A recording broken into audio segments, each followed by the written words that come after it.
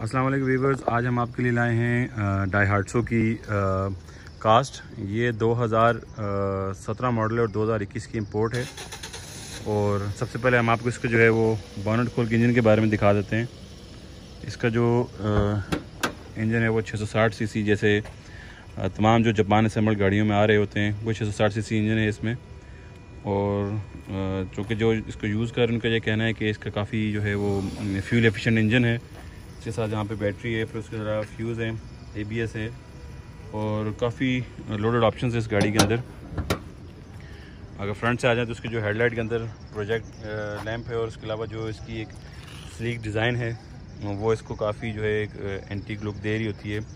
Front grille पे भी जो है इसका एक पुराने वक्त में जैसे करोला का सी लोगो आता था, उस तरह का लोगो है इसमें और उसके बाद इसके हम अगर साइड लुक पे आ जाएँ तो रिट्रैक्टेबल मिरर्स हैं इसके। और इस पर जो एक और अच्छी डिज़ाइनिंग से की हुई इसकी जो रूफ़ है, वो वाइट दी गई है। हम आपको इसके इनर से कुछ दिखा देते हैं। सबसे पहले इसके डोर पे आ जाते हैं। डोर पे जहाँ पर इसकी जो लेफ़्ट राइट की एडजस्टमेंट है। इसके अलावा ऑटो डोर लॉकिंग है मिरर्स है मिरर की लॉकिंग है। फिर उसके बाद अगर अंदर आएँगे तो काफ़ी ये जो है वो स्पेशियस गाड़ी है।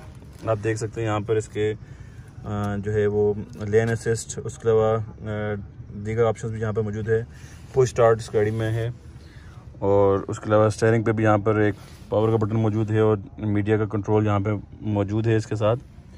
मीटर क्लस्टर पे आ जाए तो मीटर में यहाँ पर एक तरफ़ आरपीएम मीटर दूसरी जानब जो है वो स्पीडो मीटर है। दरमियान में जो है एक छोटा सा इंफॉर्मेशन डिस्प्ले भी है, जिसमें जो इसकी रीडिंग फ्यूल की, और उसके अलावा पेट्रोल माइलेज और टाइम दिखा रहा था और जो इसके जो है गियर की नॉब का वो जो ऑप्शन है वो भी दिखा रहा होता है। यहाँ पर इसका एक डिस्प्ले यूनिट है, जो गालबन सात इंचज़ का है, और उसके नीचे जो है यहाँ पर ए सी की वेंट्स हैं, और उसके अलावा यहाँ पर काफ़ी स्पेस भी है इसकी।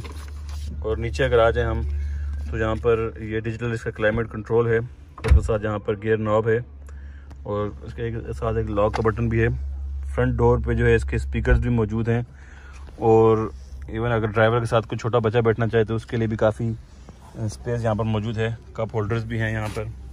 ये आप देख सकते हैं कि ड्राइवर के साथ यहाँ पर फ्रंट जो है बंदे के लिए भी काफ़ी स्पेस इसमें मौजूद है। इसी तरह से जो उसकी बैक सीट पे आ जाए तो जैसे आजकल में सुजुकी आल्टो की काफ़ी बात होती है कि वो काफ़ी स्पेशियस है, लेकिन ये गाड़ी जो है वो मेरे ख्याल में से भी ज़्यादा स्पेशियस है। डोर पे से क्रोम की डिज़ाइनिंग है और बैक डोर पर भी इसके स्पीकर हैं। और पीछे जो, पीछे वाले पैसेंजर है, उसके लिए काफ़ी लेग रूम है। जैसे मैं छः फीट का बंदा हूँ और जब मैं बैठा हूँ तो मेरे जो नीज़ हैं वो आगे नहीं टकर रहे। और यहाँ से मैं आपको इसका व्यू दिखा देता हूँ। फ्रंट पे भी इसके जो है वो छत पे भी इसके लाइट्स के ऑप्शन दिए गई हैं। और काफ़ी जो है वो एक चूँकि ये जापान असेंबल्ड गाड़ी है और आप जैसे जानते हैं कि जो जापान असेंबल्ड गाड़ियाँ होती हैं, उनमें काफ़ी सारे ऑप्शन दिए जाते हैं।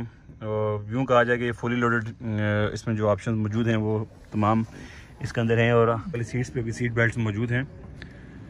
बैक पे आ जाएँ तो ये इसका कास्ट का लोगो है, नीचे कास्ट स्टाइल जो इसका वेरिएंट है, और उसके बाद रियर जो है इसका वाइपर भी मौजूद है। ट्रंक स्पेस हम आप इसको दिखा दें तो का इतनी ज़्यादा स्पेशल सीट्स होने के बावजूद जो है इसकी ट्रंक स्पेस भी काफ़ी है। तो ये एक शॉर्ट रिव्यू था, जो इसके ऑनर है, उनके मुताबिक ये विद इन सिटी 16 से 17 किलोमीटर माइलेज दे रही है, और लॉन्ग पे ये 20 से 21 किलोमीटर दे रही होती है। और इसके अलावा जो इसकी सस्पेंशन है वो आ, उसकी काफ़ी तारीफ़ की जा रही होती है इसके अलावा। ये गाड़ी जो है वो इस वक्त मार्केट में आपको 2.5 मिलियन की रेंज तक मिल जाती है। और इसके जो है नीचे से भी एक क्रोम डिज़ाइन आप देख सकते हैं। काफ़ी जो है वो एक डिज़ाइन गाड़ी है और दूर से जो है वो अपने एक आई कैचिंग इसका डिज़ाइन है।